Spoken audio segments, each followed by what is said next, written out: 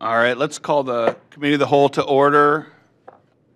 Um, Let's note that uh, all members of the committee are present, um, minus Councilman O'Malley, um, who's not able to join us this evening, as well as uh, plenty of members of the administration, um, and I'm sure others we will be introduced to uh, momentarily. Um, I'll make a motion first to approve the minutes of our April 11th meeting. Motion's been made and seconded. All in favor? Aye. Opposed? That motion passes. And with that, I'll turn it over to Director Leininger for the moment, and then we'll, we'll move from there. Thank you. Uh, Good evening, Mr. Chairman, members of council. Um, So before we get going this evening, I just want to put up our schedule uh, that we had set out uh, when we set these initial three meetings. I know there's been some conversation about potentially adding a fourth meeting, and I believe we'll, we'll talk about that a little bit later on uh, before we break for the regular meeting.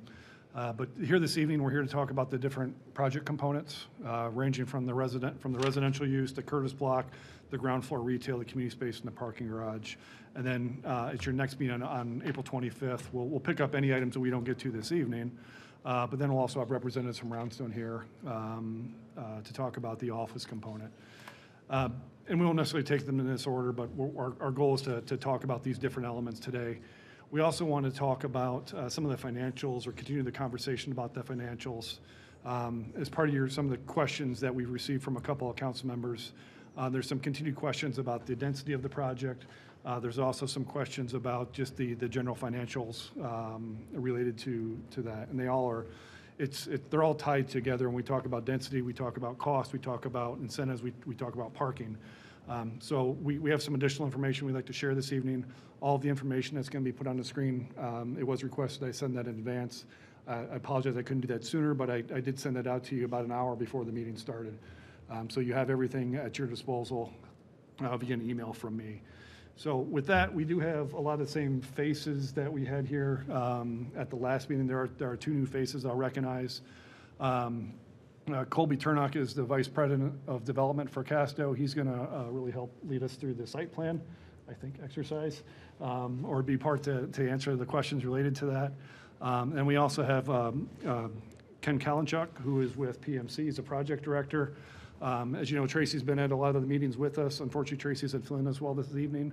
Ken has been involved in this project from day one alongside Tracy and, and knows this project uh, as, as- as well as anybody in the room.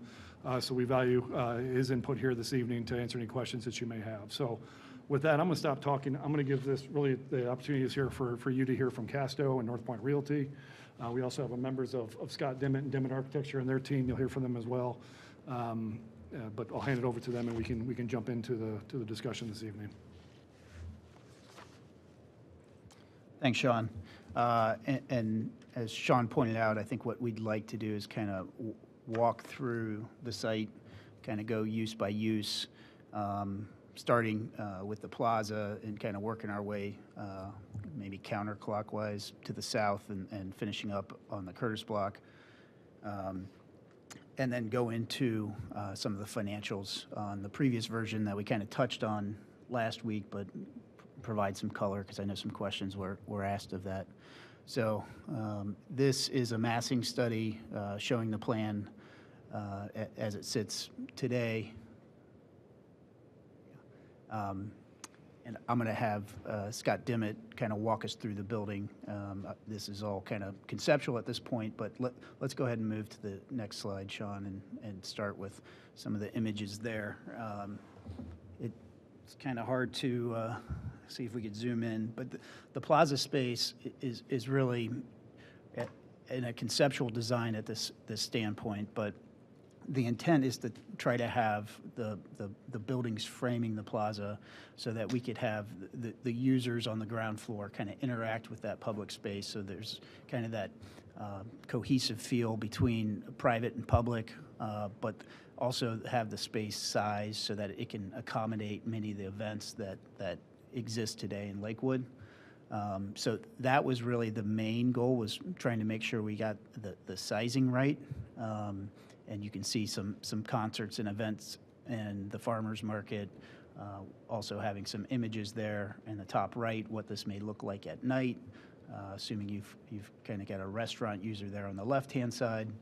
Um, So the building uh, in, in the, on the bottom right side, that would be the roundstone uh, office building that we're referencing. Um, So maybe turning it over to Scott and let him go into and speak to the office building, which would be the next slide, I believe. Or nope, there was one more plaza slide there.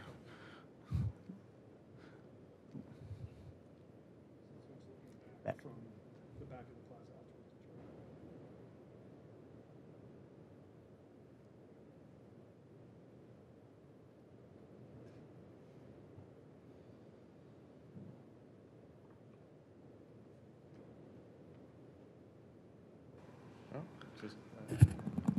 Hello. Um, uh, Thank you. Glad to be here. I'm Scott Dimit from Dimit Architects. Um, uh, We're a Lakewood firm and have been uh, located across the- street from this site for the last 15 years. So uh, we're uh, very excited and honored to be uh, taking a part in the uh, the development. Um, I think this is a good place to start because we really think that the, uh, the plaza is really the heart of the project. It's uh, 18,500 square feet, so it's, it's almost the size of a, a full office floor plate in the, uh, the corner building. Um, We um, are working with a, a great company that we've worked with in the past, uh, Edge from Columbus, and they are going to be uh, um, really coming up with some fantastic ideas for the public spaces, the streetscapes, uh, landscaping. So a lot of the, the images you see here are uh, uh, works in progress by that group, and uh, by no means are they completed, but they give you kind of a flavor of what the, uh, the intentions are. Um, but to uh, Brent's point, I think the 18,500 square feet, our goal was to really make that as flexible and uh, as accommodating to as many different types of uh, events that could be held there. Um, I think the scale of it is, uh, is also a critical element. Uh, Currently, the, the building um, that you can see on the left, uh, that's the four-story office commercial building. Uh, There's three levels at 20,500 square feet each um, for, for lease, office, professional space, and two floors uh, are currently already spoken for by uh, Roundstone, as you know from our last meeting. The ground floor is a little bit smaller. I believe we're at uh, 13,500 square feet for commercial space. And uh, the building on, that you can see on the far right is also a, um, um, an apartment building that would have commercial use at the ground level. And we'll talk a little bit more about that because that ties into the Curtis block a little bit later in the presentation.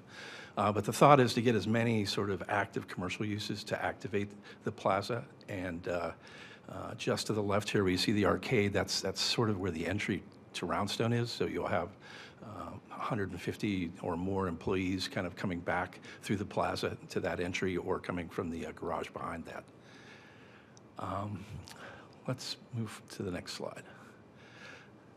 So uh, again, these are conceptual, and, uh, but I think there, there's some nice uh, ideas that are going on in terms of uh, the goals for the, uh, the overall project uh, that we've kind of taken to heart. Um, This building would probably be the more modern and more um, sort of urban building out of the entire siting. Um, Which, what we're looking at here are sort of three-story expressions of uh, glass and aluminum infill spandrels uh, framed in, in masonry. And masonry is going to be a theme conceptually that you'll see through all of these buildings. We think it's a great way to tie into the, the history of downtown Lakewood. Um, We've mixed that up with some other more contemporary materials, but uh, the ground floor is sort of recessed, uh, and that's where you know, that commercial lease space would come into play there.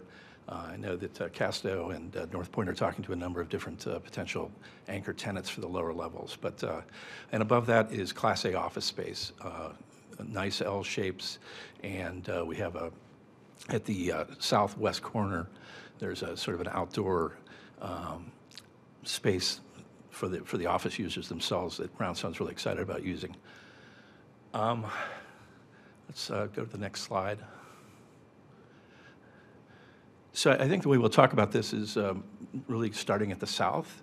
And uh, the overall concept in terms of just how the buildings have been designed, those would be the, the least dense buildings. Um, There's two small for sale products currently uh, fronting Bell, and those are literally just uh, almost uh, identical to the, the fabric that's there now. Uh, single-family homes with a detached garage in the back, and uh, uh, the idea is to sort of make that transition gradually as, as we go further south. So uh, the buildings immediately north of those two for sale products, um, they are three-story walk-up uh, apartment buildings.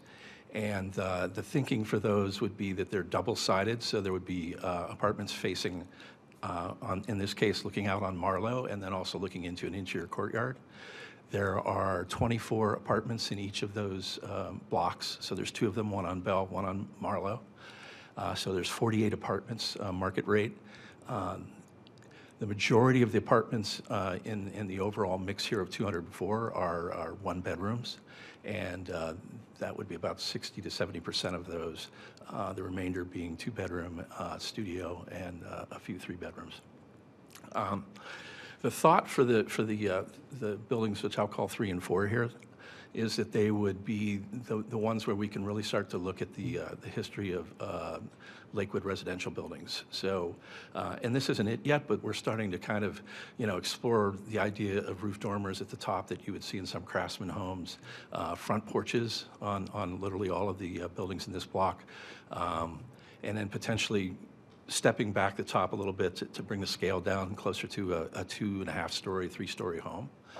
Um, I think that there's plenty of room as far as just the overall site to, to do really nice uh, yards at the front to kind of get some calming, uh, nice sidewalk and streetscapes, and we're just sort of starting to hint at that here.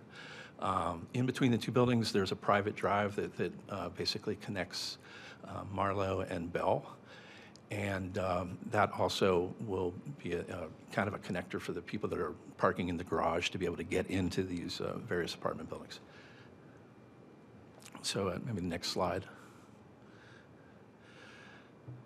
So, so this is showing building two. So as that transition from, uh, you know, a, a smaller, single-family uh, neighborhood network kind of uh, moves forward towards Detroit, uh, this middle building has 70 apartments. Um, it's basically four stories built at grade, and it's uh, immediately sort of fronting the, the parking garage behind it. Uh, there's, if you can see, there's that little slot of uh, uh, kind of dots there. Uh, each of the lower level uh, apartments there will have your own sort of private courtyard up against the uh, one and a half story facade of the garage there. So it'll be nicely landscaped. Um, It's a double-loaded corridor building also with an elevator, so there'll be basically apartments fronting out onto Marlowe, as you see here, and then facing uh, back over the garage and on the, uh, uh, the west side. And uh, both of these buildings, uh, Building 1, which is the one that extends north to Detroit, and Building 2, they're both entered uh, at this corner. So basically, that's a point where the slopes come together in such a way that if you're in a, in a wheelchair, you can get into each, each of the buildings there readily and also access the garage. The top floor of this building is also uh, anticipated as being kind of pulled back, uh, sort of like penthouses, but uh, that'll be a full level of apartments up there. It's just, um, those of you that toured the Dexter uh, saw that same sort of approach. It kind of brings the, the height of the building down a little bit and makes those, uh, those top apartments a little bit more special. Um, The materials that we're showing here, again, just conceptually, a mix of bricks, um, uh, probably types of siding. Um, uh, In this case, we're showing a little bit more traditional sort of clapboard siding on that penthouse at the top. And uh, nice windows, a a little bit more open than the expression that was in the uh, buildings three and four. And then, uh, can we go to the next one? And so, so this is showing um, Building 1. Uh, We'll talk a little bit more uh, with the guys about the, uh, the intersection with the, uh, the Curtis Block, but uh, as it's drawn currently, it's uh, one level of commercial space, which extends into the base of the uh, footprint of uh, the Curtis Block, and then there's four levels of apartments above it. Um, This building is kind of making more of a transition to the, the flavor of the, uh, the front office building and also uh, a little bit more the sort of commercial scale of uh, historic Detroit. Uh, It's a little bit similar to the kind of fabric you have over at Warren and Detroit. And uh, uh, in this particular study, we're, we're kind of showing outdoor um, porch areas, um, uh, different types of paneling. that almost has kind of a terracotta flavor to it, like it might have been an old uh, uh, historic department store. Um, But something that's a little bit more varied, and um, we think it has a nice fabric flavor added to the street.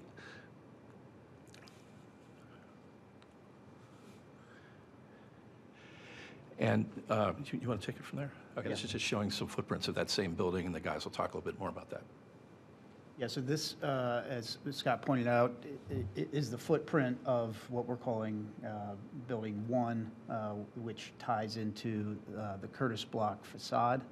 Um, So you can see kind of the uh, general footprint of, of where the Curtis Block, and Sean, if you could kind of hover over where that, uh, so as you can see on level two, three, four, and five on the left side of the screen, it shows the unit count that is kind of stacking over uh, the facade uh, that is being proposed uh, in this scenario to, to just save the facade.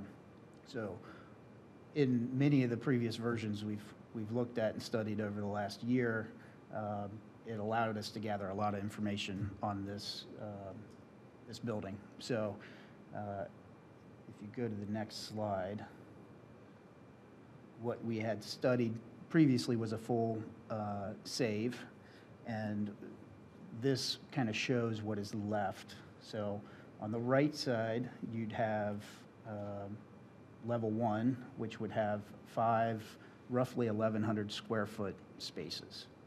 So the walls there are, are required structurally to support the building. So we would have those five spaces. The building then would have to be stepped back, building one, uh, to have some separation between the two buildings. And then if you go to level two then, under the full save, you would end up with about five residential units uh, in that building on the second floor. And then obviously, nothing on the third, fourth, and fifth. So ultimately, what that would yield is roughly a 32-unit loss in total, um, and about 2,200 square feet of less commercial space. But probably the biggest thing uh, from our standpoint would be the commercial space that is left. So if you look at the commercial space on the right-hand side here, um, and if we were to save the building in full, uh, up in the Curtis Block, so you, you'd have space that I'd pretty much consider not dynamic, not leasable, or leasable at a, an extremely discounted rate relative to new space that could tie into this large plaza investment that then we ha, we'd be left with the new space of roughly 8,800. So our largest commercial space goes from 17,000 down to 8,800. Um, And I can say we are already in preliminary talks with some people that are looking in that 10 to 12,000 square foot range. Um, And that would preclude them from being in this particular building. Um, So maybe if you flip back to the previous slide, Sean, just so you can get a feel of what I just described there. And I think the other component, um, maybe if we go into the financial picture and that kind of loss of revenue standpoint, um, to save the, the Curtis block, we're looking at, I think it's the other, yeah, roughly $7 million in cost. Um, If we were to get state historic tax credits, federal historic tax credits, I- we could yield maybe $2.5 million net, uh, maybe a little more.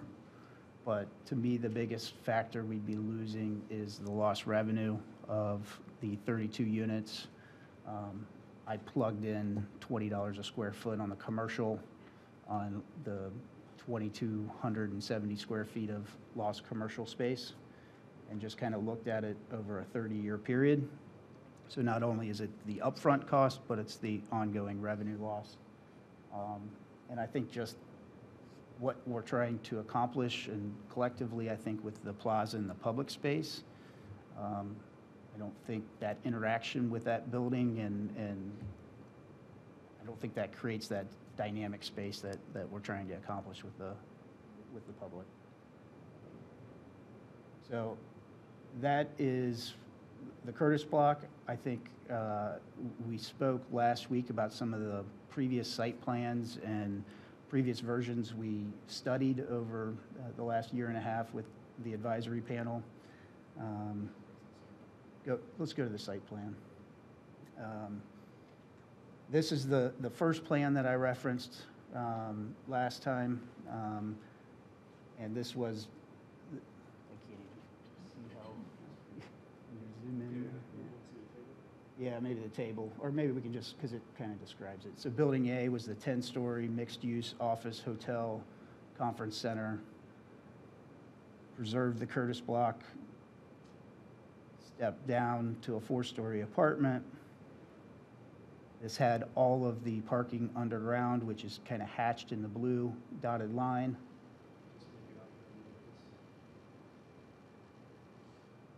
Building C was a five-story apartment. Building E was six-story. Building D, 12-story. And, and then as we stepped down in the site, we had more for-sale townhomes on the back half. Uh, We continued with the same uh, single-family. Um, I don't know if you have those massing studies, Sean.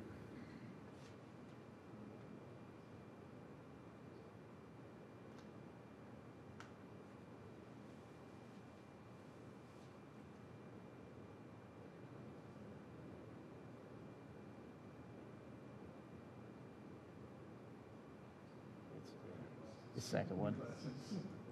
Yeah. that's- So that gives you a, a sense of the density that we started at. Um, And then there were iterations off of this. Uh, But the kind of subsequent site plan that, that transitioned to, um, if you want to jump back, if you want to do the same exercise. So then we looked at changing the building types, like we had discussed last week, um, and brought down the, the scale of, of some of those building types. Um, And you see, still preserving the Curtis block. Um, And all of these exercises were, were priced with the, the contractors to, to get to um, some real-time pricing. Uh, And then we, so that building scaled back to five-story from 10, I think, in the last version. That stayed at four-story. Uh, Then we went from 12 to 8, which took us from a cast-in-place building down to light gauge. Um, We continued with 8, 6, 7, and there's kind of some rhyme and reason with each of those as it relates to building type. Um, We maintained the 24 uh, walk-up townhomes, and then if you go to the other massing iteration, that'll give you a sense of the same step-down version here. Um, First one. Yep.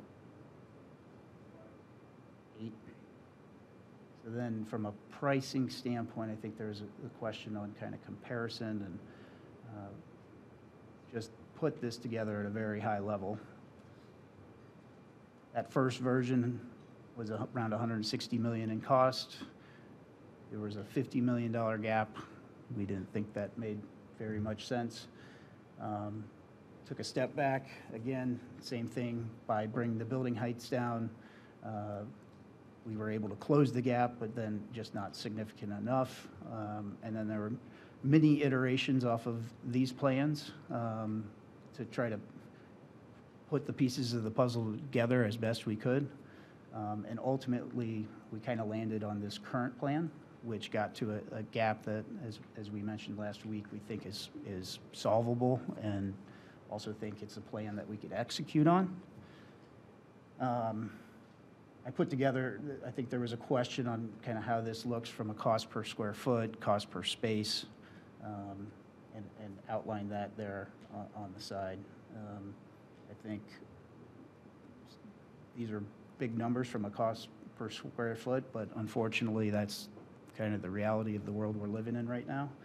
And I, I think it's only probably going to get worse. Um, So I think from our standpoint, again, we've looked at this a lot of different ways over the last year and a half, and we're kind of at a point where we think this is a, this plan, knowing we've got a lot of input still to receive, uh, particularly on the design, is something that, that we could execute. Um, But also just kind of full disclosure, like we've been from the beginning, is there's a lot going on in the market. There's a lot of cost pressure, there's interest rate pressure. Um, This is getting harder and harder, so.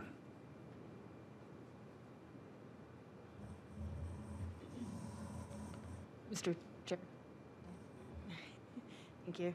Um, Thank you for uh, this presentation and being back here today and um, taking time with our questions. I know you've all been looking at this every which way from sideways, but it's a lot for us to take in and everyone joining us tonight, I think everyone's taking it in. So we, we asked the same things three times. I apologize, but, uh, you know, just making sure we're all understanding.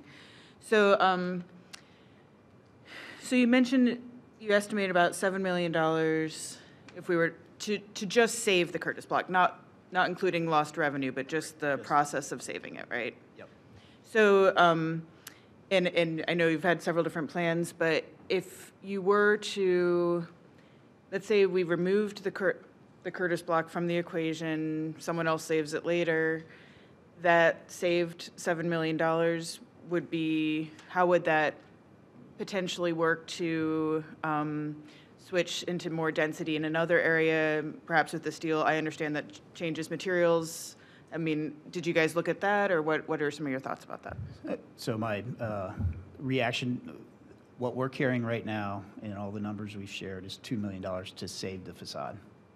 So if the Curtis block stays in its current configuration and it's dealt with into the future, um, my initial reaction would be, uh, uh, I'm not sure how that attract, that would be very attractive to us um, from the stance, stance of trying to create this space with this kind of unknown piece sitting there that is a very focal piece that is tied and connected to everything. Um, I don't think that would be a good solution from our standpoint. Um, Could we repurpose the $2 million in another piece and enhance something else? Yes, that's definitely uh, something we could do uh, to answer that piece of the question. Mr. Chair, Please. if I could, I'd I'd just echo what, what um, Mr. Sobchak said. And from the city standpoint, this is a planned development. Uh, We're looking at this holistically. Um, This is as much a front door to the site as the cast, or as the, the Roundstone building is. It's as much a front door to the site as the, as the community space is. And so it's important that it, it's all discussed together because they all play off of each other. They all need each other in order to, to function both physically, but also financially. Um, So I, I think it's important to, to keep the Curtis block in the conversation as part of the overall development. Thank you. Any follow-up? Okay. Councilman Bullock? Thanks, Mr. Chair, and um, thanks, um, Mayor and Directors and uh, Casto and team, Casto North Point Realty and team, and Dimit. Um, So a couple things. First, thank you for uh, presenting tonight's information and options. I think from our, my perspective, I don't want to speak for colleagues, it's helpful to have the options. Um, I'm trying to get my hands around the opportunity cost of this path or that path or some third path that we haven't yet uh, thought of, but we hope to, to work towards to kind of have the best of all worlds. Um, So even if we're hearing tough financial numbers, it's constructive to the debate, to the discussion, deliberation, to see, okay, here's the, the current assessment of path A, B, C, D, et cetera. Appreciate that. Second, um, uh, it's nice to get the elevations in the form they exist in to date for uh, the various buildings, the residential buildings that Dimit showed, very tasteful work. Um, I know that a lot of thought is, is put into that. And um, that's going to be a big, that'll have a huge impact on the personality of the overall development, uh, how it adds character to our community, how it functions as a neighbor to the immediate neighbors and really the whole district. Uh, I'll repeat, as you've heard me probably say before, I'm hoping this will be an engine that drives downtown activity, other development, other reinvestment, et cetera. So what you do is a big deal. I'm sure you don't need me to tell you that, but, but um, we appreciate the high quality and the future high quality work. Um, Part of what's behind all my questions is, if we build something in six years, in 10 years, in 15 years, are we going to have buyer's remorse for what we failed to include now or some other version of that same idea? It's, it's tricky. Again, this is stuff that I'm sure developers and builders and designers deal with all the time, but we're, we're building a 50-year property based on today's moment. It's a snapshot in time where all these terrible things in the economy and the wars in Europe are affecting costs, and we have to launch the development now or soon, and it's going to have a lasting impact well beyond the crisis of the moment. So I'm hoping that we can not let those limits limit the, the regenerative value to our community in every sense.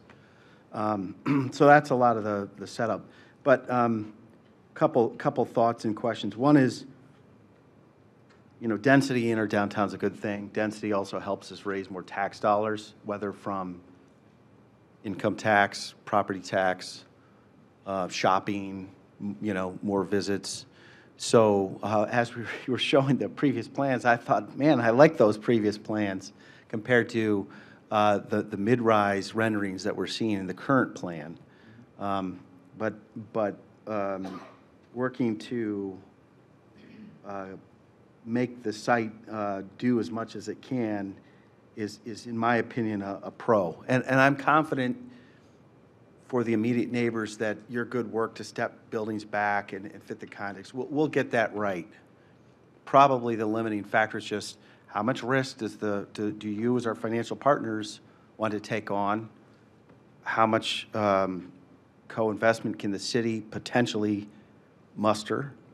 Um, And what are we willing to go for? And as you- you've heard me before, I want to swing for the fences on this, not hit a safe double or single.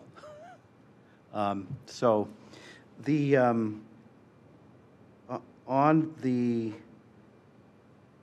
uh, commercial conversation, it was helpful to know your analysis.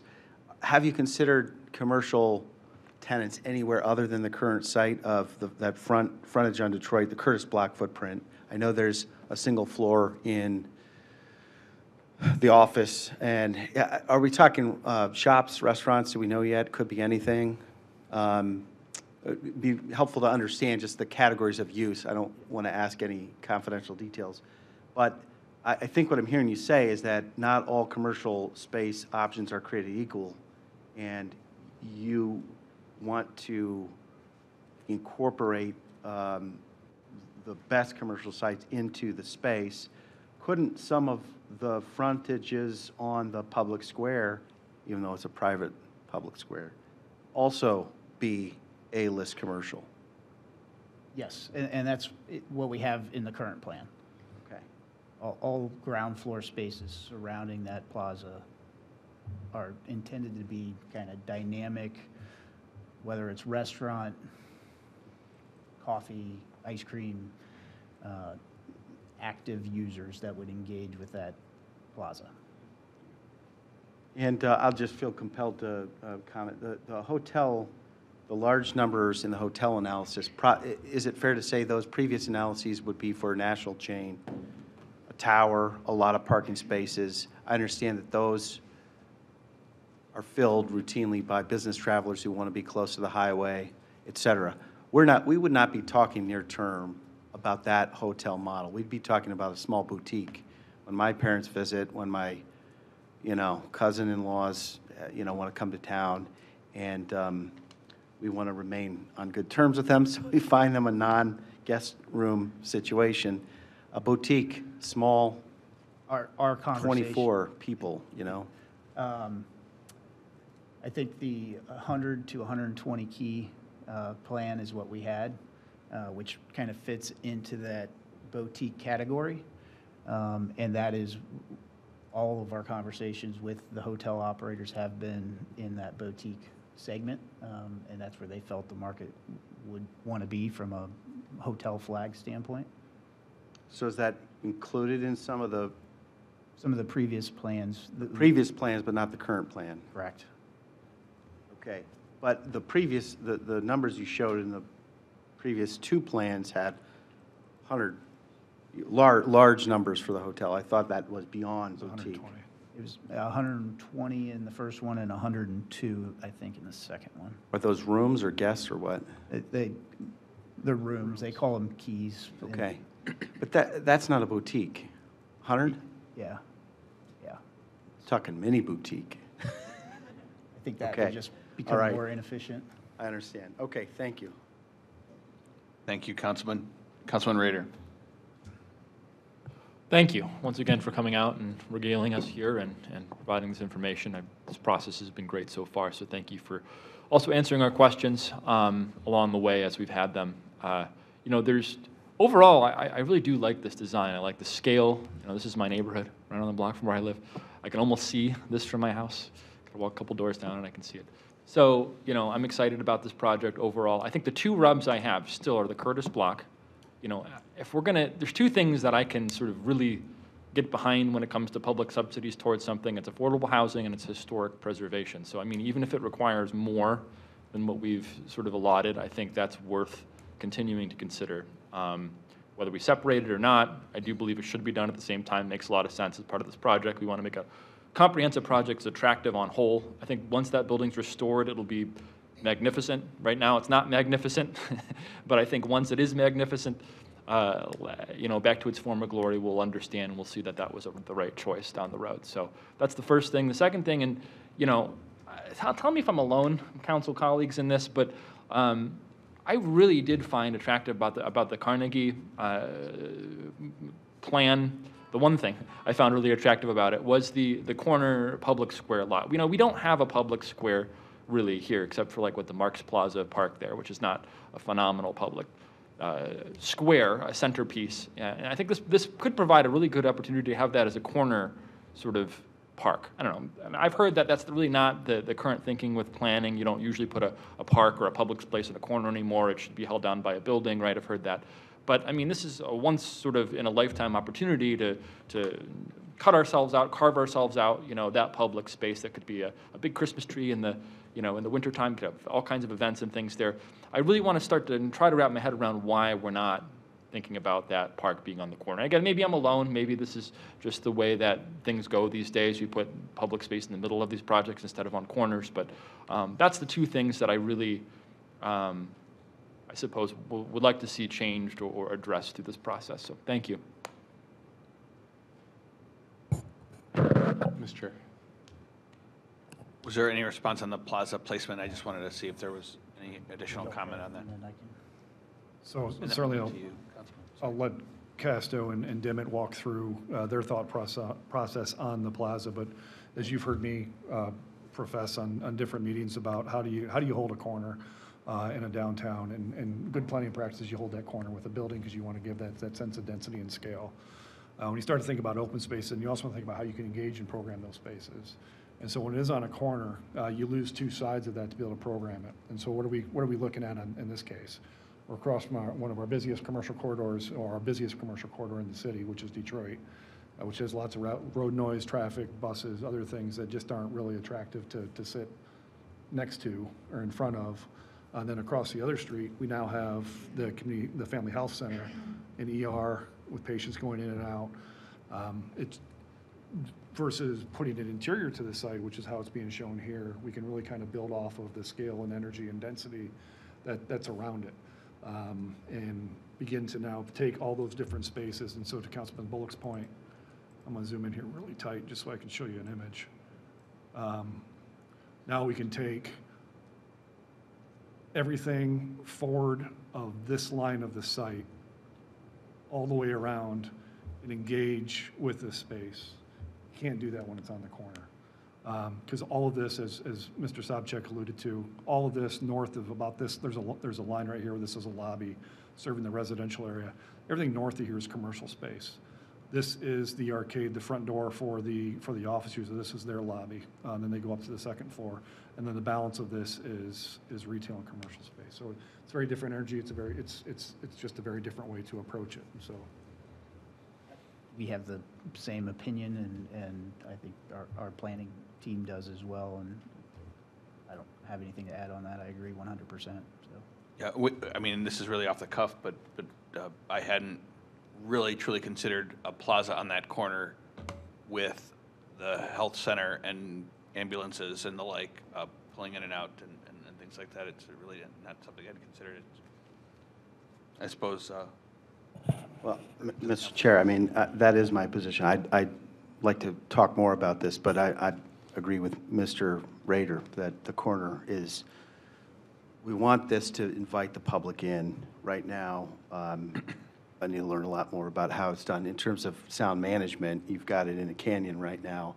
Throwing up some trees may not mitigate that. So, I mean, uh, just, just, this is a major point for continued discussion. I think it can be successful either way, but um, I, I don't want to concede any, any point on this yet. Thanks.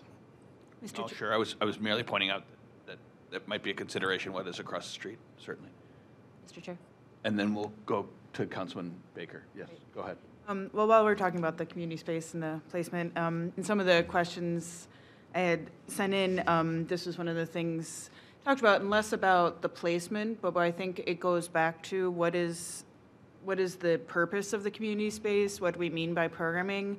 So what I'm hearing, and of course, you know, you guys gotta, you have to get your money out of it, right? So, and like, and so do we. So like, that all makes sense. But if we're thinking programming in terms of outdoor dining for um, the commercial venues there and some of the other commercial purposes, um, you know, Director Leininger, I see your point about, you know, you don't want to dine there or whatever. But if we're thinking programming, the way that I think of it as a nonprofit programmer who organizes events, I'm thinking in terms of inviting people in and with that sort of arcadish feel of like right now in the middle, and I, and I understand, um, to Mr. Dimit's point, like these are preliminary drawings and, um, but it does feel like an invitation would be, an extra invitation would be needed, whereas when it's more open, it's, it's continuously inviting. And so I think that goes back to, I do think we need to have some significant conversation, like the form really needs to follow the intended function and um, like engaging with our community partners, like Lakewood Alive, like the Arts Festival, all the things we do. Um, I don't want to assume that they want to use this space, but I think we need to think about what we as a community want to happen in that space.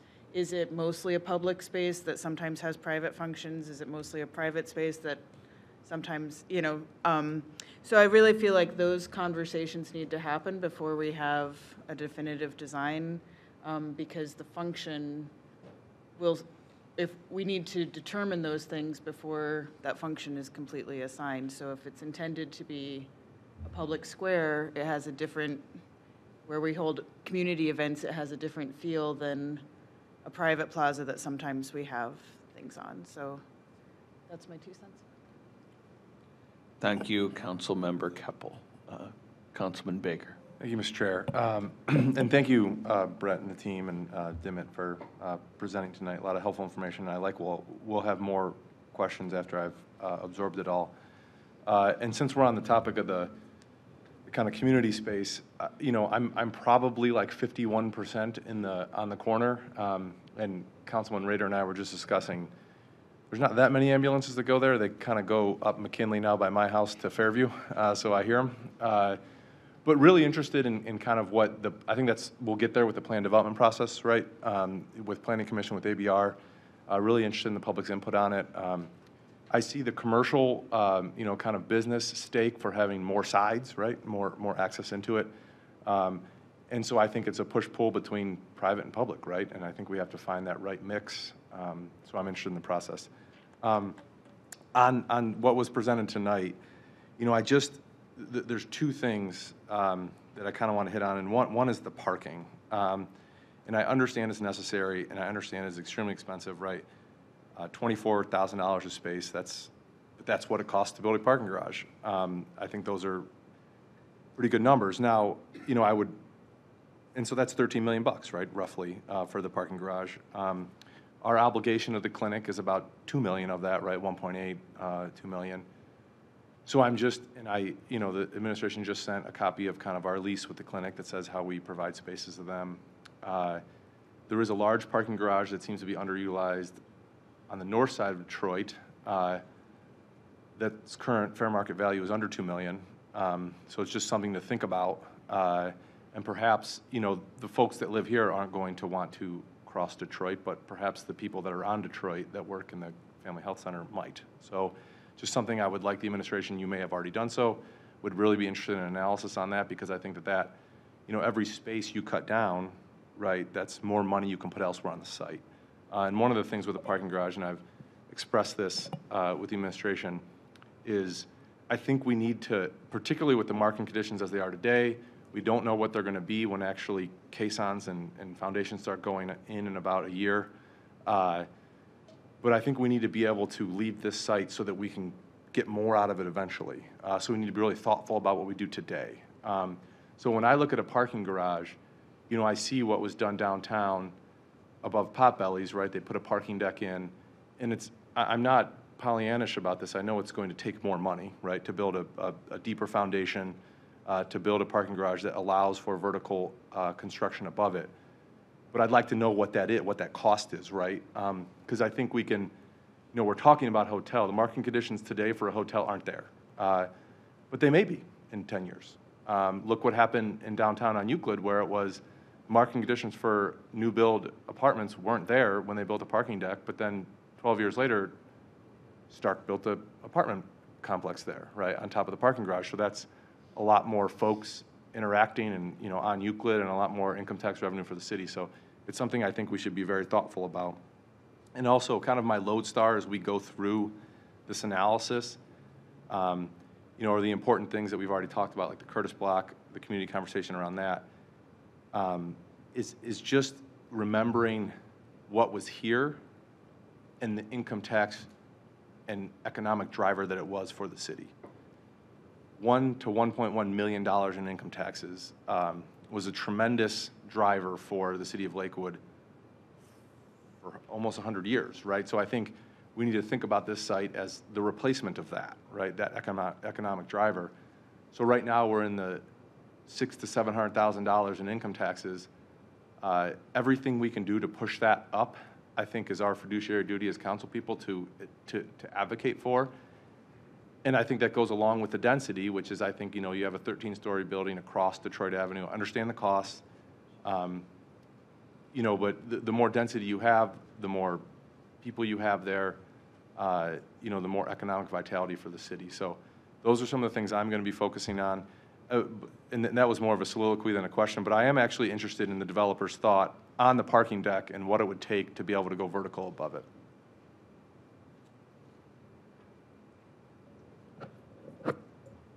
So, Mr. Chairman, we can, we can certainly dive into this to the extent that, that you- we, we need to get into it. Um, Obviously, we've, from the, what we shared here this evening, we, we've looked at providing additional density onto the site. And as we provide additional density, the revenues that are, all- the, the, the cost of providing that additional density aren't offset by the revenues. And so that gap just continues to get bigger and bigger and bigger. And those gaps that you saw include a tax abatement. They include the residential tax abatement. A TIF isn't going to cover that gap, even if it was hundred percent school TIF even if we were to, to, to apply for T-MUD, which I think we've looked into T-MUD, I don't know if this is really scores that, that great in a T-MUD scoring um, scenario, so that could provide up additional 10 million. So the only way to close some of these gaps in is the city put some real hard cash into the project to the tune of tens of millions of dollars, depending on which scenario you're looking at. Um, I certainly appreciate the conversation about how do we build for more density in the future. That does require deeper foundations. It puts us back into the groundwater, which the groundwater is a concern. Um, It also carries a cost with it. Um, That cost has to be carried by the development that's going in on day one, not the development that might come in year 20, might not ever come. Um, So all those are, are- are, are, healthy considerations, but at the end of the day, we're, we're, we're kind of, we're, we're con- we're constrained by what our, what our market can offer us. And our market can offer us, or will support about a 65,000 square foot office user. Support, a- a- we can probably, there's some opportunities we can probably increase the residential density on this site. Um, We're already kind of pushing the envelope on the resi, on the retail side. Uh, We're a little bit above what our market study says that we could absorb before considering some of these other things. But, I mean, at the end of the day, all of these, uh, more density doesn't, doesn't necessarily make this, this project better. Putting more incentives into it, well, sometimes, on, on one hand, we're also hearing maybe the incentives might be a little too much, or how do we, how do we minimize the amount of incentives that are going into this? We, we have a lot of different things that are competing interest. Um, And so what we've tried to do is put together a, a, a, a project that is balanced. It's physically, it's feasible. From the market standpoint, we believe it's feasible. Financially, with some assistance from the city in the form of some type of TIF, perhaps some assistance from the state on some grants and some other things, um, we think we can get there on this. And so as we start to now push and pull on those different things, I think it really starts to put some, some pressures on, on the margins on this project. Um, But I, I- I hear what you're saying, it's just, there's, there's, there are some very real constraints on, on the project financially. Mr. Chair? Y- Yeah, and, and so I, and I, I- that's, and, and I appreciate all the work that the administration has done, because I can tell a lot of work has gone into this. Um, You know, but, but council, uh, wa- wasn't involved in that work, uh, to, to- at least I wasn't, right, I, I'm new. Um, But, so this, you know, we're absorbing a lot, and we have questions. And, um, and the one thing on the, on the parking garage in particular is, what, what, what, what would it cost then to, to do that, right? Because there is money in the hospital fund, and I'm not saying we use it, but I'm saying that at least it'd be a healthy consideration to think about.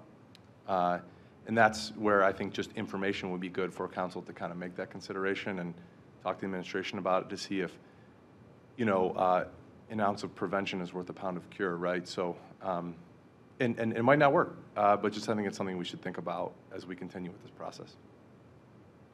Certainly an area for which we may have leverage that we haven't considered, or, or if it has been considered, we want to understand that conversation, to the extent it's happened. Um, s- Go ahead. I would just add that we, we have, we have had general conversations about the hospital fund, not, when we were looking at these other scenarios, the hospital fund cannot close the gaps that are in the project on, on, on those other scenarios that we considered. It's not enough. Okay. Um, So then we have to find other sources, whether it's general fund, whate- whatever it might be, and that's where it, it, it gets really hard, okay. once we get beyond that. Yeah, and I, I guess my direct question is more so just, like, just the parking garage, what it would take. Um, And so am I hearing it's more than six and a half million? I don't know if Casto's looked into superstructure on a, on a parking garage to, to support additional building. We, we kind of considered that in the earlier scenarios. Yeah, I mean, the, the, the structure was part of the previous versions, but to, it- we'd have to reprice, hey, what, if we were to allow for that on the parking garage for say, what do we have to do structurally, foundation-wise, and so on? And we can get a, a delta for that number to, to answer your question. Uh, Mr., th- th- thank you, because I think that, I, I mean, it- Director Leininger, I suspect you may be correct that it's just not feasible, but I think uh, it would be a delegate, uh, you know, uh, I think we should consider it, that's all I'm saying. And see how it pencils out, uh, certainly.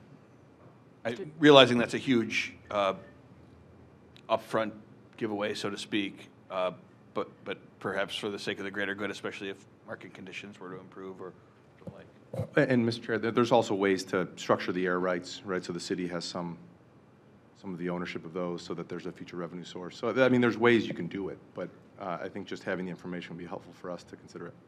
I appreciate the question. Mr. Chair. Councilmember Kepple, please. Um, Thanks. Um, I, so following up just a little bit on parking garage, um, I'm just going to put a pin in this, is that I'd love to see what steps might be incorporated to kind of offset the carbon footprint of that carbon garage. And I did see that there were plans to have EV chargers and all that sort of stuff.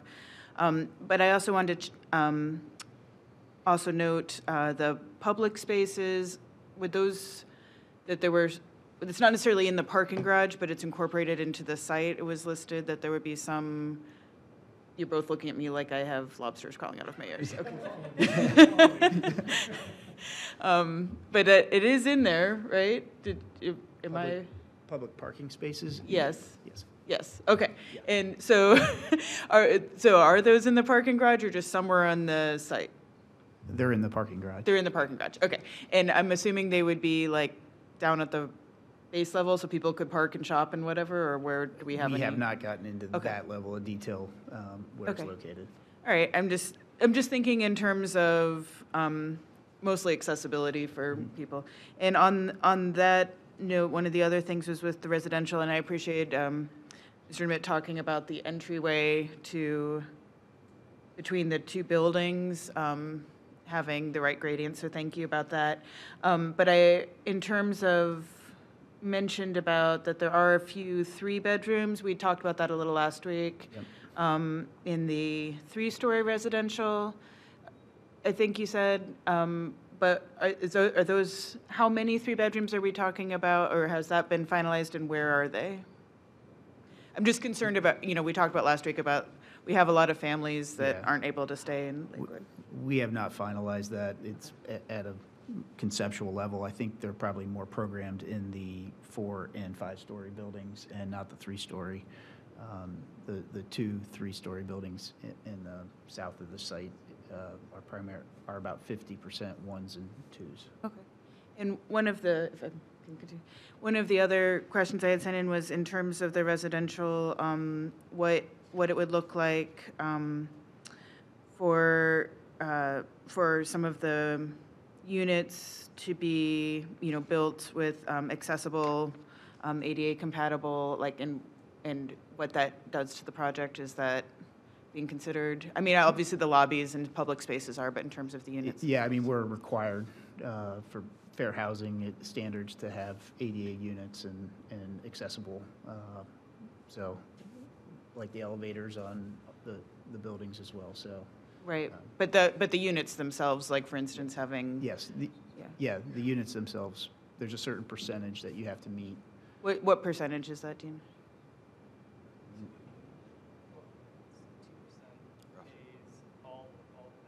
I think we're saying two, two percent of them have to be an A-type unit, which is fully accessible with the grab bars and so forth, and all of them have to be type B, which can be convertible to a level of accessibility. And that's like a federal, a federal housing laws. ADA. Okay, thank you.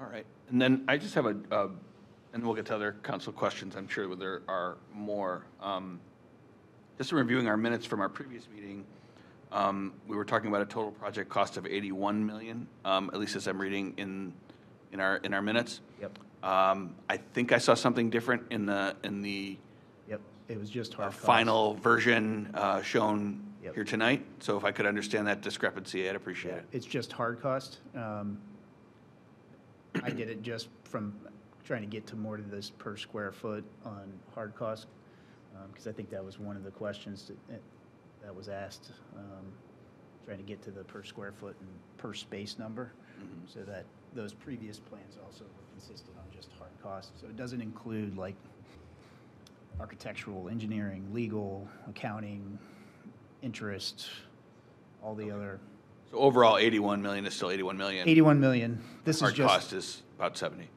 Yes. Okay. And the 81 backs out the office. Ah, understood. Okay, that makes sense. too.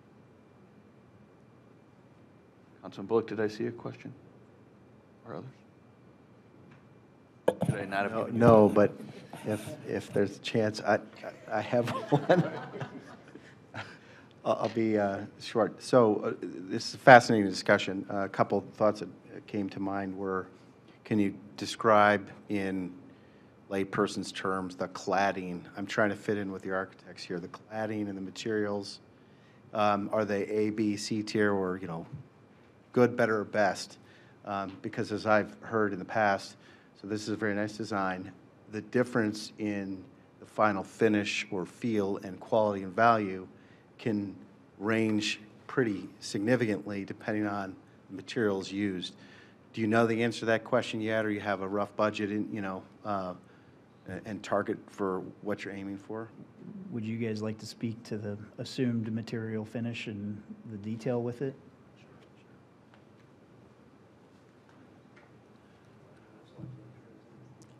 Um, You know, initially, and again, it's a kind of conceptual approach, we've been sort of defining the facades uh, for these sort of real-time pricing efforts, and we've, done- we've done that a dozen times in the last year. Um, Right now, we think the masonry product, you know, so basically just basic brick, uh, is a great material. It's got a historic uh, relevance, it's affordable, it's locally uh, sourceable. So, um, you know, I, I think it's, all materials, and let me- correct that, all materials are not affordable right now. Uh, There's, there's nothing that's affordable. Uh, But uh, out of, you know, comparatively, brick is a good one. Uh, There's, there's a number of different siding, cement products out there, uh, some more contemporary, some less contemporary, more historical.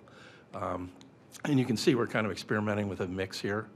Um, But um, one of the, the things that we love about working with Casto is that inside of a, a given budget, the end product is always a great quality product. And, uh, you know, I think now more than ever, having a good team and working in real time in a design assist fashion with a, a good contractor like Elford is super critical. I mean, and that, that extends to everything. Uh, we have good quality windows. I'm not sure if, if all of you were able to visit the, uh, the wonderful Dexter project that we, uh, we worked on for Casto, but uh, uh, it, that's an example of a project that hits a, a very challenging price point and does it really well. I mean, I think that it really exudes a nice quality, and uh, I don't see any reason that the, the initial conceptual designs that we're showing here can't move in that direction. Okay, thank you. I think I, I follow that you've got a tightrope to walk to achieve the quality and still respond to real-time pricing, which has been as challenged as, as it's been in modern memory. Um, Hopefully, breaks in friendly ways in the next 12 months, right? Um, did- Have we described at all the, let's pretend for the minute that this is the plan we're going to build, you got approvals. Have we talked, discussed the sequencing of construction? Are you building everything all at the same moment, or uh, is it one before the next, before the next? I think initially, the, the thought would be to build the office building and the garage first, um, and kind of sequ- sequence yourself out clockwise, I guess it would be, uh, to allow for some staging area to the south, south side of the, of the site.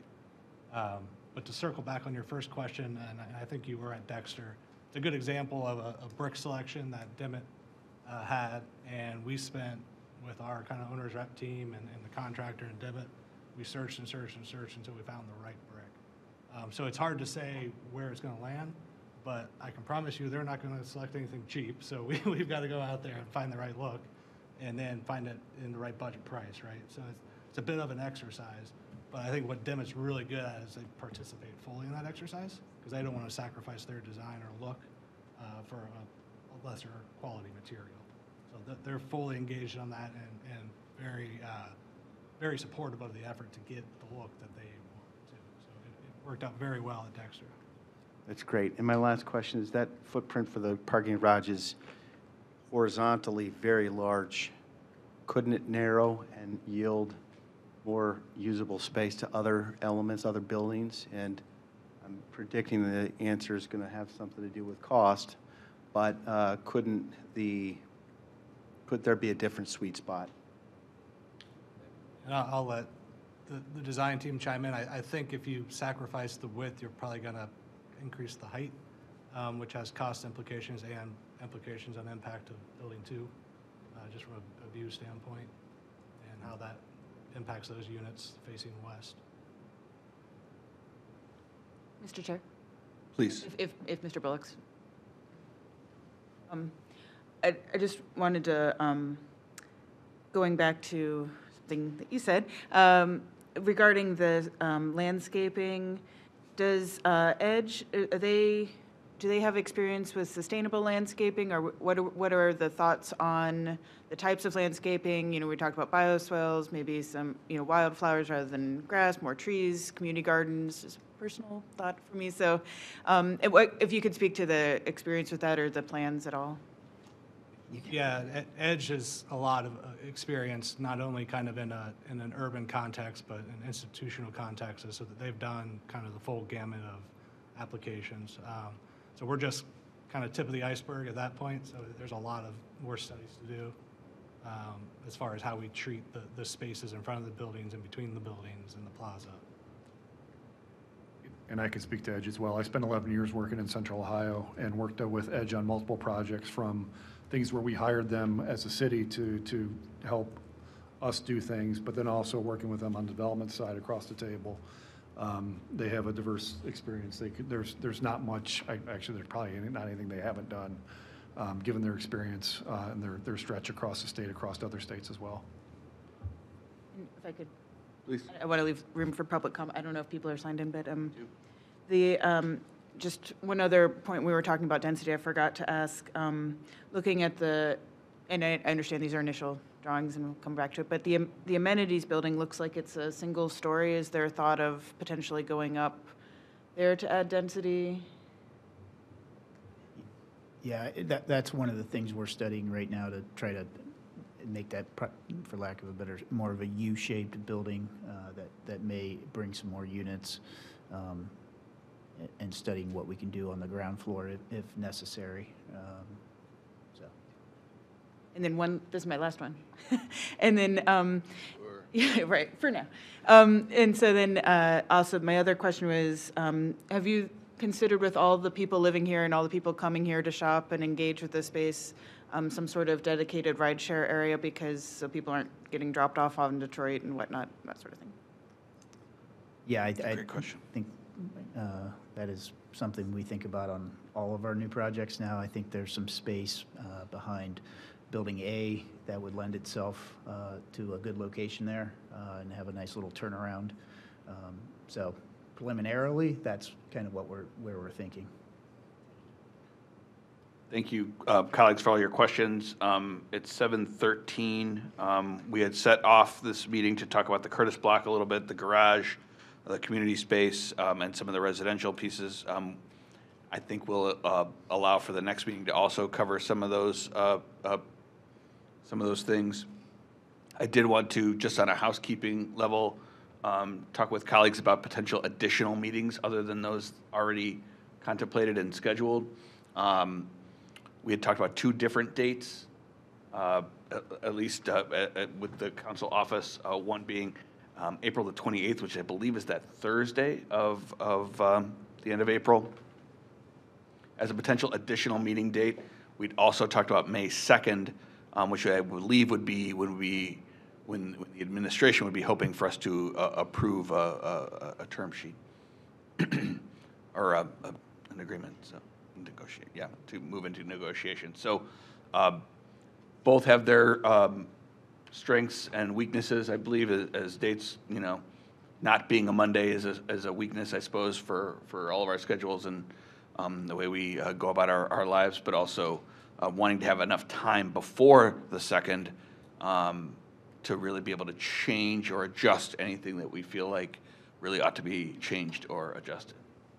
28th of April or the 2nd of May um, as potential, potential additional committee of the whole meeting dates. Were there any comments? Um, I would advocate for the 28th, just because it's kind of nice having, you know, not having that time pressure of running up against the council meeting like we are right now.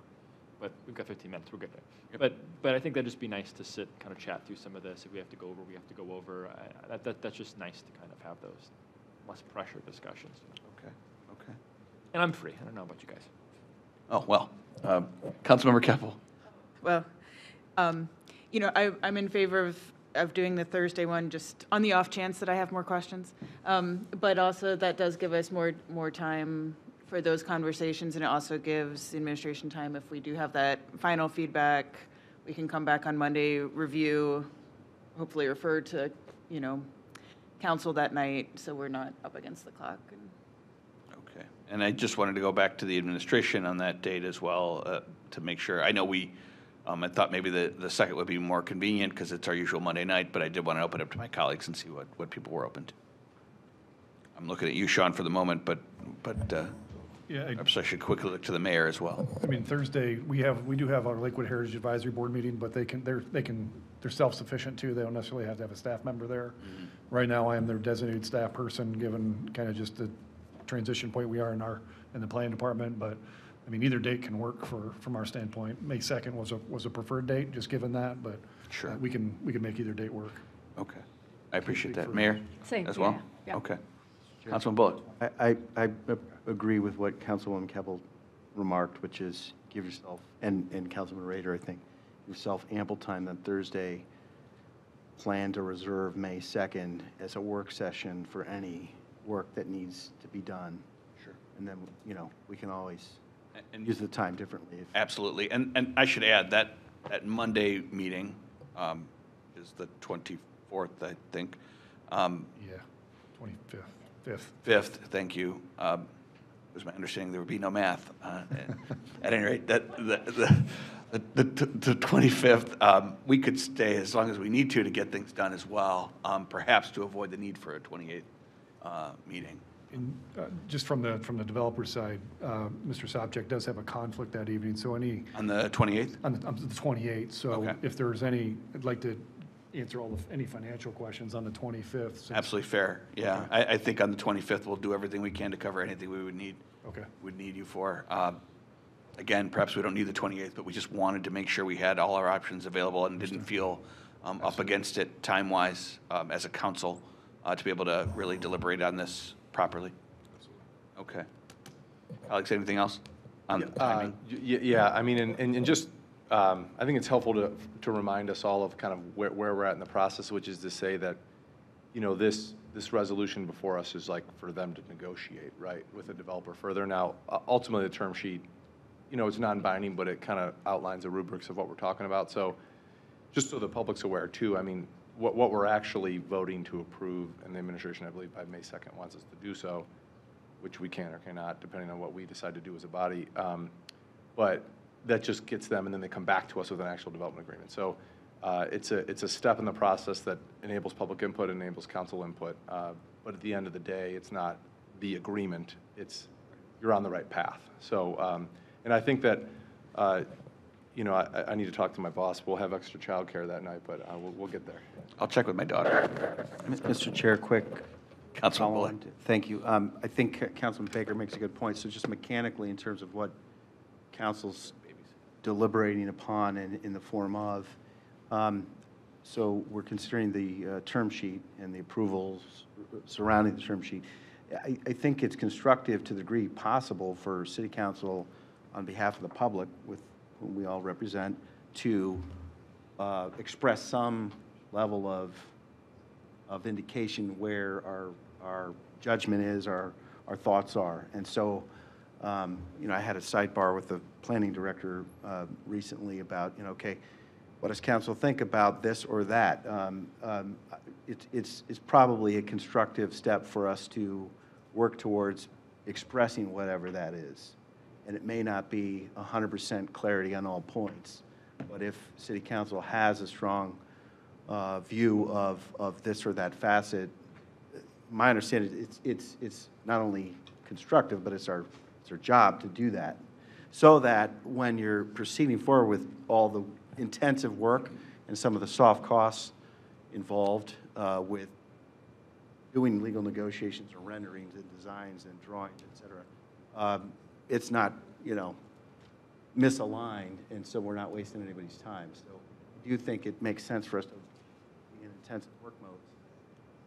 Get as much of a a consensus around whatever we're clear about at the front of the process. Does that work from everyone's point of view? I mean, is that fair characterization? It's up to council, uh, how you'd like to proceed, and any, any feedback, direction you give us as, as we start to go, move on to those next steps and get in front of our boards and commissions. Also then keep continuing to double back with city council while that is going on, um, would be, would be beneficial. Um, I did have a conversation with the uh, Assistant Chief Law Director, uh, Jen Swallow, because she helps us manage those boards and commissions, and what she suggested is that um, If there are, if there is specific feedback you'd like to, to leave with us as we, assuming we're going to get to, to uh, an approval on the negotiation, uh, is to do that through your committee report. Um, The term sheet's already been executed, so the term sheet is what the term sheet is. It's, a- it's a list of markers that we're going to, we're to hit when we, when we talk about the development agreement. So if you have some additional markers you want us to consider as we go into that development agreement, put that in your committee report, and we'll hold that and, and carry that forward to, to our boards and commissions and with the developer as we move, move into those next phases. Great, yeah, that makes sense, and, and I- should add, my colleagues and I are all uh, welcome to show up at some of these boards and commissions to uh, chime in personally. I, I know I've done that before when it's been something pertinent to Ward Three or whatever the case may be, and we should all feel welcome to, to, to do the same, to be a part of those uh, discussions. We do have at least four uh, signed up for public comment. I want to make sure we get to those. Before we do, we have one more question from uh, Councilman Shachner, and then we'll, we'll go from there. Thank you. I know, surprise, surprise. Okay, so last time we talked about the garden apartments and the two um, for sale lots that are next to the garden apartments on Bell. I seem to recall in our conversation, the reason for the two residential was because it transitions into the community a bit, because it's surrounded by other residential, but it appears maybe it's just the way it's drawn. On Marlowe, you have garden apartments abutting single-family residential.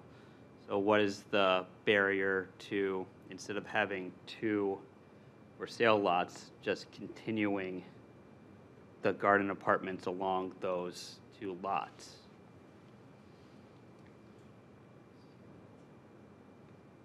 I, I- I guess when you, there's really no barrier. Um, It was just trying to accomplish some for sale component. Um, So from, I guess, we'd be happy to extend that building further south.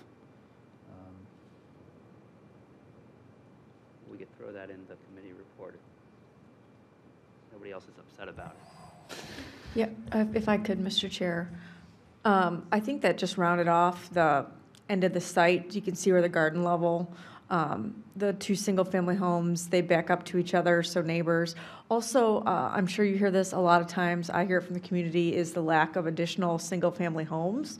So it was an opportunity to at least provide a couple single-family homes, but I think, um, as was mentioned, it's, uh, it's up for discussion, it could play out through the boards and commissions.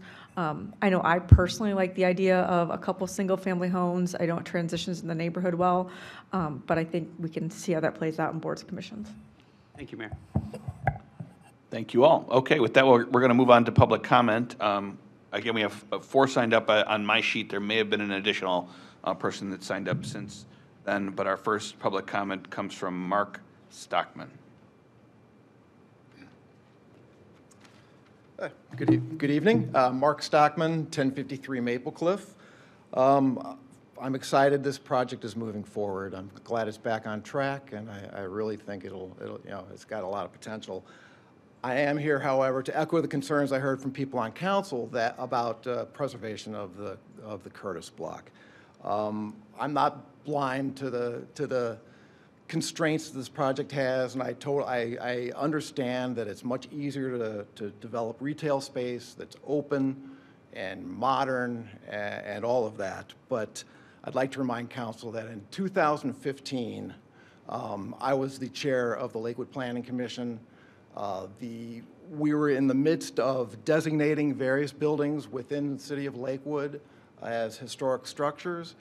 Uh, The city came to us, the Planning Commission, and asked that this building be designated a historic building.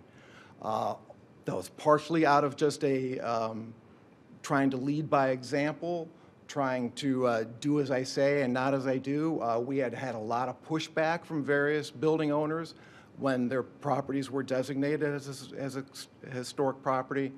And it was, it was really an effort by the city to, to show that this, that they value historic preservation and it's, important to them. And I just feel it would be somewhat almost hypocritical and embarrassing for the city to, to backslide from that stance that they took in 2015. I understand that there, you know, that there's constraints and, and economic constraints and physical constraints, but I really think that the city has to find a way, it has to be imperative to be able to, to hold this building and, and keep it preserved. And, you know, a, uh, just preserving the facade is really just not, a- you know, we only designated the exterior of the building as historic, because that's all the ordinance allows us to do. But that doesn't mean that the rest of the building is not uh, worthy of preservation. It also doesn't mean that the, the scale of the building, the massing, how it sits within the city is not important as well. So I really think that the city needs to do everything they can to find a way to keep the, keep and restore and preserve uh, the Curtis Block. Thank you. Thank you. Next up, we have Heather Rudge.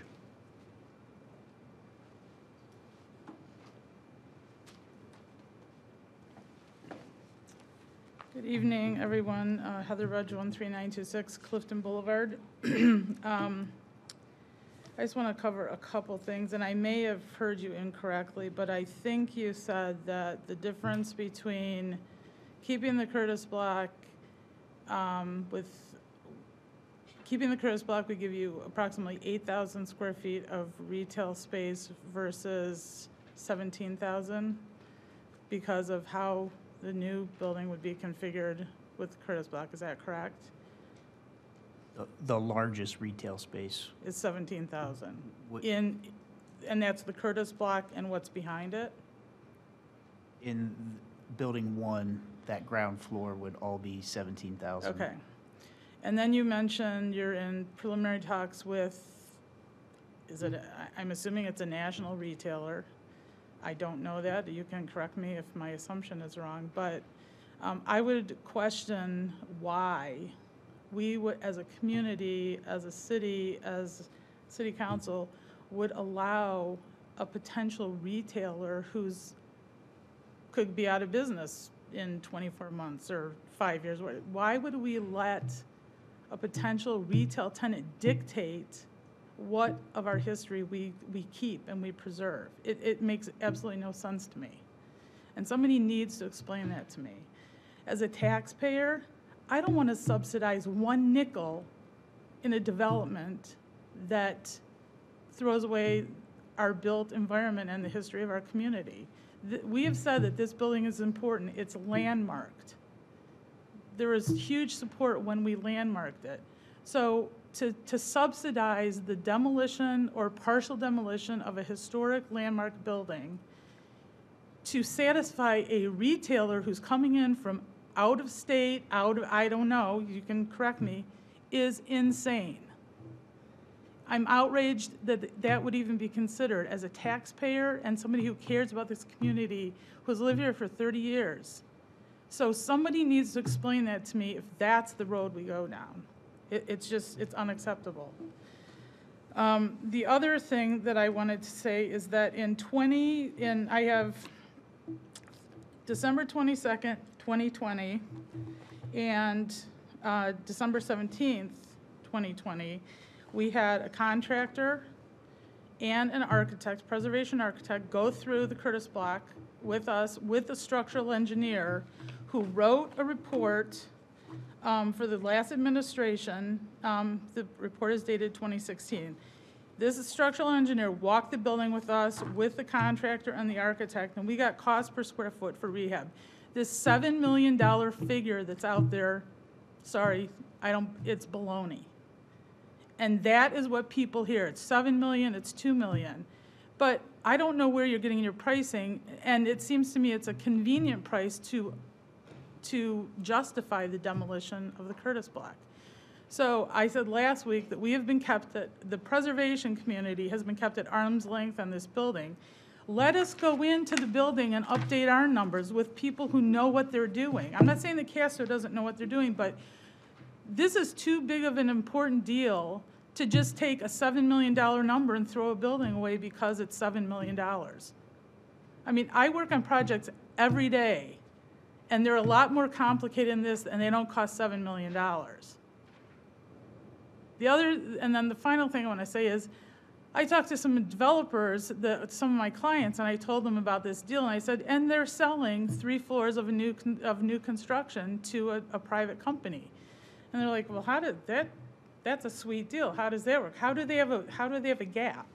So I just, those are questions that need to be answered, and I'm gonna be here every week until somebody wakes up and, and sees that this is a, is a, is a bad deal.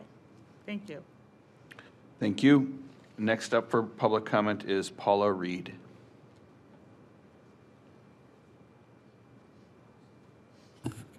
Paula Reed, 1208 Manor Park. Um, thank you, first of all, council members, for your thoughtful questions and your willingness to really consider this project that is so important for Lakewood for the future. Um, I just want to encourage you to continue to ask those questions. I have had a long relationship with the Curtis Block, starting back in about 2009, when it just became vacated, and on the behalf of the Downtown Lakewood Merchants Association, um, did programming in the windows, was in and out of that building, saw it deteriorate over the years, tried to be the alarm for that, but no one was paying attention. Um, It is a wonderful building if it were put back into the shape uh, that it could be. The apartment that's on the corner of Marlowe and Detroit is glorious with a Murphy bed.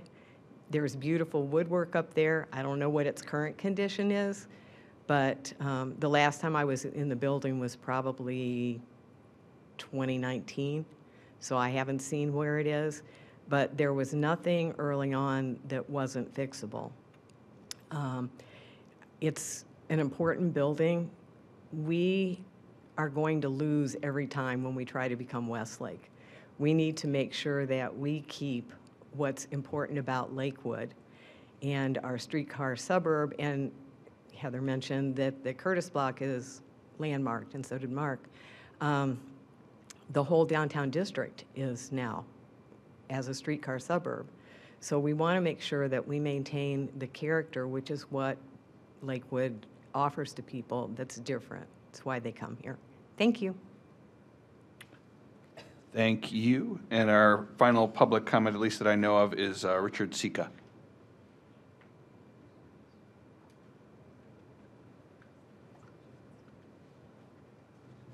Rick Sika, 1519 West Clifton Boulevard. Um, I'm going to sort of be all over the site. Um, The three-story walk-up buildings. We're a community that says, that talks constantly about being accessible and walkable. And I heard tonight say that the three-story buildings aren't going to have an elevator. You know, people's health conditions change, or you break a leg, or you blow out an Achilles tendon. You're out of your home then, is what that means. And I just, I'll add an expense, but I think every building in that site needs to have an elevator. The plaza. So It was an interesting conversation about whether it should be in the middle or at the corner. And I do think that the way the elevations look, it is asking as if you need an additional invitation to go into that slot between the buildings because what's going to front out there are either doors to retailers or outdoor patios or an office building entrance. So if you're not there for one of those purposes, are you really going to think that you're comfortable just because you'd like to sit outside in the warm weather for 20 minutes, just ignore what's going on outside, and uh, in the summer? And the other thing is, we're all guessing about the activity at the uh, clinic facility and the drop-off. There needs to be a survey done. Maybe the clinic already col- collects all of this and they know every drop-off that happens there. They know every ambulance that comes in there, time-wise is what I mean, and do that over 24 hours. Or somebody needs to sit out there, like a city employee. God knows I did enough parking studies and other things when I was at the County Planning Commission. And you need to just be there and watch and count. Because it may not be an issue. That was, that point was raised. It may not be an issue as to what's happening over there because maybe it's just mostly eight to six and it's just folks dropping off other folks and that's all. I mean, I get the comments from way back with the poor unfortunate residents on Marlowe who really had to see ambulances being unloaded until there was screening done to, for them, but this may be different. Um, which then leads me to the garage. And am I right that the spots that the clinic staff are using now are way back at the south end, south of the hall? Okay, I'm getting, okay. Um, how many of those spots are being used? How many people are there? Same thing. Do we need a survey to know whether, are there 70 people there a day? Are there 35 people a day? That needs to be looked at over a couple of days, once an hour, see what that kind of usage is.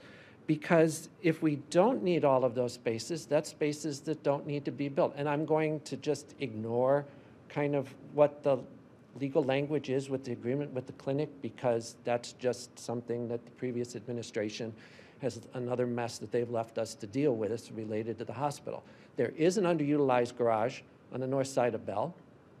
I have to say, I'm not sure who owns it at the moment, but there's space there. And I had also heard that the lease agreement somewhere uses the word adjacent. Well, that's an in- interesting word because adjacent doesn't necessarily doesn't mean abutting or contiguous. So even if the spots end up in the garage, someone has to cross the street to get to work. So whether you cross a street east-west or you cross a street north-south across Detroit, that could be construed as the same thing. The other thing that I think is going to keep happening if those spaces end up in the garage on Bell is that, well, as I'm driving through Lakewood and Cleveland, what I call human squirrels, the folks who don't use the crosswalks and don't go to the lights and just decide to dash across seven lanes at Clifton in front of traffic, um, that's going to continue to happen there. And that's a, Bell is a busy street. And having people leave a, and enter a parking garage mid-block to get to the parking lot of the clinic, sorry, you guys are seeing that in reverse, you know, you could regulate all of that pedestrian traffic right there at a signal on Detroit. So I really think there ought to be serious attention paid to seeing about whether adjacent and spaces can be done on the north side of Detroit. Um, I think the spaces in the garage need to be metered, the public spaces, because otherwise, office workers during the day and residents at night are going to figure out, I can get a free spot for 12 or 16 hours in the garage for all my uses. So that needs to be, that's down the road, but that all needs to be sorted through. Um, finally, on the Curtis block, um, you know, we were said that we didn't have a, uh, a front door. The front door is right there. It's the four vintage buildings, right at the, right at the intersection. And that's the best front door we have. And I'll just, uh, I think there are ways to move the apartments and some of the retail around that would be lost if not um, allocated to that spot. And I'll let that go for the next meeting because I ran out of time. Thank you. Thank you. Thank you for joining us. Thank you for all the public commenters and members of the public who joined us this evening. Um, Without any further business. and Mr. we'll Chair. Continue this discussion. I just We will wanna make adjourn in a second com- after two- the mayor says something. Yeah, two quick comments. I do want to just comment real quick on the uh, Cleveland Clinic. I have the, a copy of the master agreement uh, on my computer right here, which was signed, signed December 11, 2018. And it says uh, that we need to lease uh, 75 automobile parking spaces as identified as the existing emergency department parking lot on the east side of Bell Avenue. So it's very specific on the location. I will add that we've had preliminary discussions about, see if we can talk with Cleveland Clinic to see if there's any wiggle room in that. We've had internal conversations about that other parking lot you've discussed that isn't used. That is something that we're going to work through through the summer months, but it is pretty ironclad in that agreement. And I also just want to talk, uh, just for a second, about the Curtis Block, because it is an important building and it is historic. And I appreciate that. And I talk about preserving buildings in our community whenever possible. Um, and we've done that. We've done a lot of adaptive reuse projects. And every time Sean and I talk, we talk about adaptive reuse, adaptive reuse. I really believe what makes Lakewood special is our historic character what I'm trying to lay out and what I think Casto has as well, we've gone through the financial exercises backwards and forwards, and we cannot find a path forward in maintaining the Curtis block. And that's really difficult for me to say, but that's the reality. And, and through this process, we're still going to look at there are options, but that $7 million figure on top of the loss of residential units is substantial. It's more than we have in the hospital fund. And so when we talk about city council, we talk about public subsidy, we're talking an astronomical public subsidy if that was even to be contemplated. So what I will say is we'll continue to explore it, but please at least appreciate that it's, it's very, very difficult, if not impossible, to keep the whole uh, uh, Curtis block. And what we've done is at least trying to keep the character, the character with just the facade save, what keeps that corner that we heard about through the public process was what's really important is the outside corner. And so uh, we're hoping to, to, to, you know, do the best we can in that area. So I just want to um, uh, comment on that, and I'll, I'll leave it there. Okay, thank you, Mayor. Uh, With that, and there being no further business of, of the uh, committee, and since we're going to continue this discussion in a week, uh, we are adjourned. We'll start up uh, full council in about five minutes.